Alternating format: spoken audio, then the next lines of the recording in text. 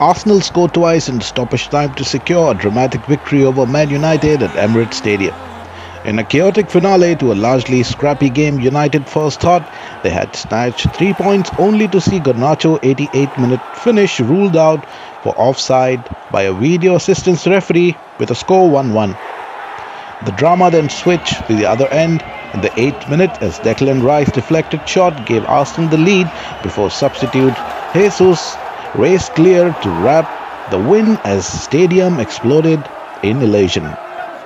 United had taken the lead in the 27th minute when Eriksen outstanding pass played in Rashford who cuts inside to send